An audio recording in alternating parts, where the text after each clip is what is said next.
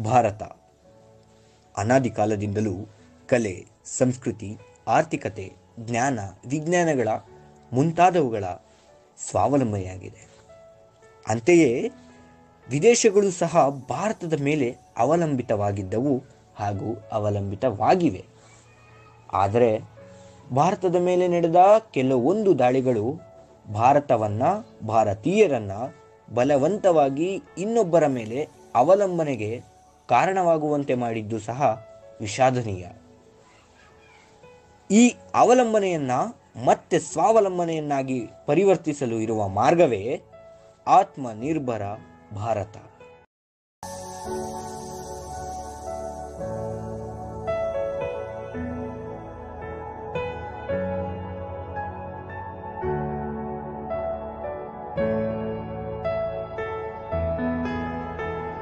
You are fired.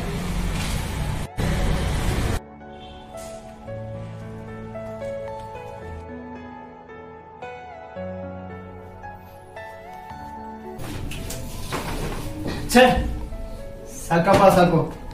ಈ ಬೇರೆ ದೇಶದ ಸವಾಸನೆ ಬೇಡ. ಯಾವ್ದೋ ವಿದೇಶಿ ಕಂಪ್ನಿಗೋಸ್ಕರ ಹಗಲು ರಾತ್ರಿ ದುಡ್ದು ಲಾಭ ಮಾಡ್ಕೊಟ್ರೆ ನಮ್ಮಿಂದ ನಮ್ ಹಣ ತಗೊಂಡು ನಮ್ಗೆ ಮೋಸ ಮಾಡ್ತಾರೆ. ವಿದೇಶಿ ಕಂಪ್ನಿ ಸವಾಸನೆ ಬೇಡ.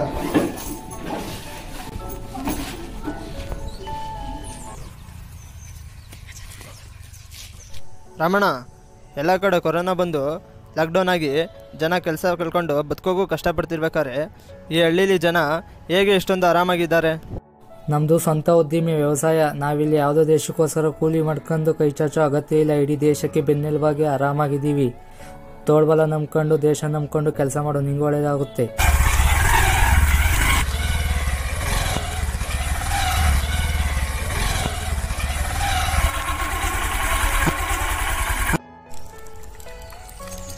ಅರೆ ನವೀನ ಸಿಟಿಯಿಂದ ಯಾವಾಗ ಬಂದು? ಯಾಕೋ ಏನಾಯ್ತಾ ಬೇಜಾರಾಗಿದ್ಯಾ? ನನ್ನ ಕೆಲಸದಿಂದ ತೆಗ್ದಾಕ್ಬಿಟ್ರು ರಮಣ ನಾನು ಏನು ಮಾಡಲಿ? ನನಗೆ ಸತ್ತೋಗ್ಬೇಕು ಅನಿಸ್ತಾ ಇದೆ. ಏ ಹಾಗೆಲ್ಲ ಯೋಚನೆ ಮಾಡಬೇಡ. ನೋಡು ನಿಮಗೆ ಮರದ ಬೊಂಬೆ ಮಾಡಕ್ ಬರುತ್ತಲ್ವಾ? ಯಾಕೆ ನೀನು ಅದ್ರ ಮೇಲೆ ಬಿಸ್ನೆಸ್ ಸ್ಟಾರ್ಟ್ ಮಾಡಬಾರ್ದು? ಸ್ಟಾರ್ಟಪ್ ಯಾಕೆ ಮಾಡಬಾರ್ದು? ಅದೆಲ್ಲ ಸಾಧ್ಯನಾ ರಮಣ? ಅಷ್ಟೊಂದು ಹಣ ಎಲ್ಲಿದೆ ನನ್ನ ಹತ್ರ? ಈ ಮರದ ಬೊಂಬೆ ಇವೆಲ್ಲ ವರ್ಕೌಟ್ ಆಗುತ್ತಾ? ಸಾಧ್ಯನಾ? ಸಾಧ್ಯ ಇದೆ ನವೀನ್? ಎಲ್ಲವೂ ಸಾಧ್ಯ.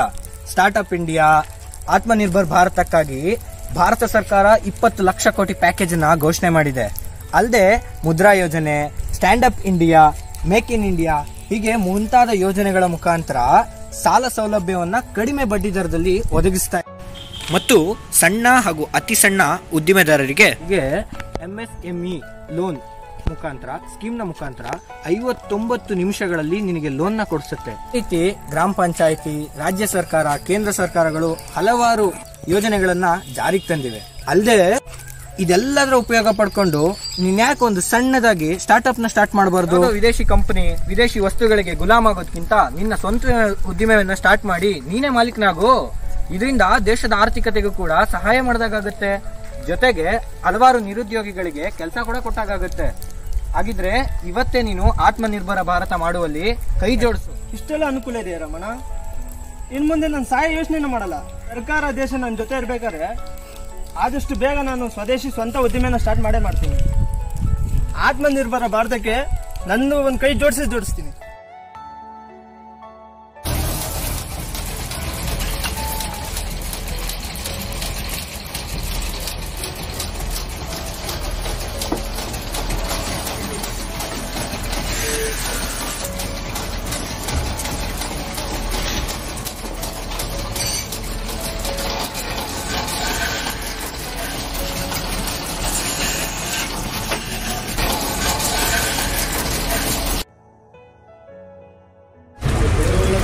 ದೇಶಕ್ಕೆ ಬೇಕಾದ್ರೂ ಪ್ರಾಣ ಬೇಕಾದ್ರೂ ಕೊಡೋಣ ಹಣ ಒಂದು ಬಲ್ಪ್ ಕೊಡಿ.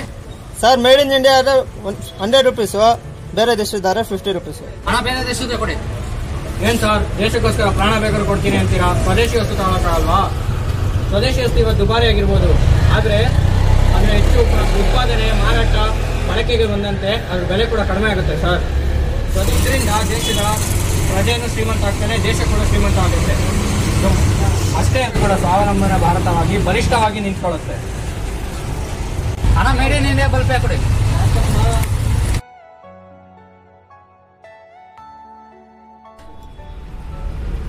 ಆತ್ಮನಿರ್ಭರ ಭಾರತ, ಬಲಿಷ್ಠ ಭಾರತ. ಆತ್ಮನಿರ್ಭರ ಭಾರತ, ವಿಶ್ವಗುರು ಭಾರತ. ನಾವು ಪ್ರತಿನಿತ್ಯ ಬಳಸುವ ವಸ್ತುಗಳು, ಮಕ್ಕಳ ಆಟಿಕೆಗಳು, ವಾಹನಗಳು ಸೇವಿಸುವ ಪಾನೀಯ ಹೀಗೆ ಮುಂತಾದವುಗಳ ಮೇಲೆ ಭಾರತೀಯರು ಅವಲಂಬಿತರಾಗಿದ್ದೇವೆ. ವಿದೇಶಿ ಕಂಪನಿಗಳು ನಮ್ಮಿಂದ ಲಾಭ ಪಡೆದು ನಮಗೆ ಮೋಸ ಮಾಡ್ತಿವೆ. ಸ್ವಾಮಿ ವಿವೇಕಾನಂದರು ಹೇಳಿದಂತೆ ಭಾರತದ ಪ್ರತಿಯೊಬ್ಬ ಪ್ರಜೆಯು ಯುವಕ, ಯುವತಿಯರು ದೇಶಭಕ್ತರಾಗಿ ದೇಶದ ಸ್ವಾವಲಂಬನೆಗೆ ಪಣ ತೊಡಬೇಕಾಗಿದೆ.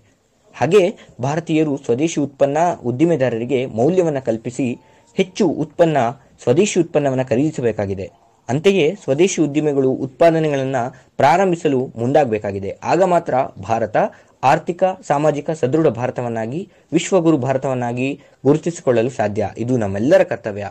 ಆತ್ಮನಿರ್ಭರ ಭಾರತಕ್ಕಾಗಿ ನಾವೆಲ್ಲರೂ ಕೈ ಜೋಡಿಸೋಣ. ನಾವು ಆತ್ಮನಿರ್ಭರ ಭಾರತಕ್ಕಾಗಿ. ನೀವು